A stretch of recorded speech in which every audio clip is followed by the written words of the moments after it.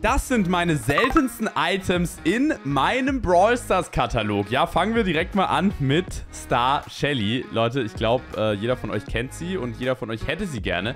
Ja, wie hat man sie bekommen? Damals musste man direkt bei Global Release, beziehungsweise vor Global Release zocken. 2018, wenn mich nicht alles täuscht. Ja, und wer da Glück hatte und schon dabei war, der hat Star Shelly damals kostenlos bekommen. Heutzutage kriegt man sie nicht mehr.